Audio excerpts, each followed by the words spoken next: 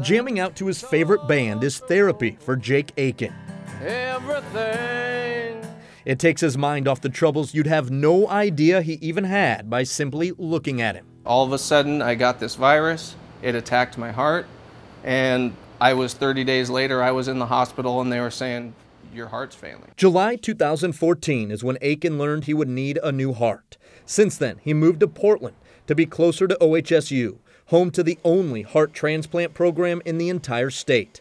Turns out the move paid off. Aiken says he jumped to the top of the heart transplant list. They kept telling me, You're next. It's going to be good. Everything's great. It was great until this past weekend. Aiken's phone rang. It was a member of the OHSU heart transplant team he has grown to love. And they just said, I'm sorry. We don't know what to do. We don't have the personnel in, in place. We can't support the program. OHSU's heart transplant program has been suspended due to inadequate staffing.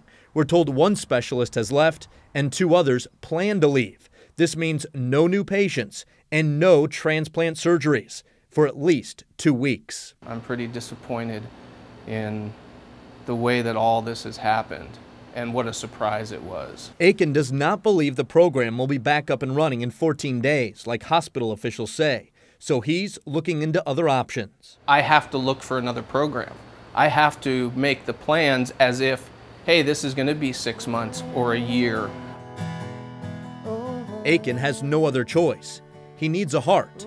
The pump he currently has is only good for so long. I need a solution to long term. All right, hospital officials declined to go on camera, but they did release a statement. In part, it says OHSU cares deeply about our patients and families. This difficult decision was made to maintain OHSU's commitment to excellent care for patients at all stages of transplantation.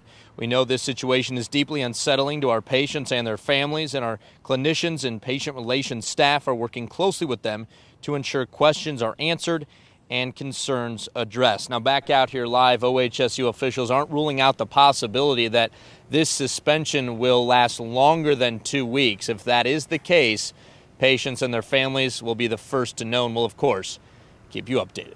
Chris, back to you. Well, deeply unsettling seems like an understatement. All right, Mike, thank you for that.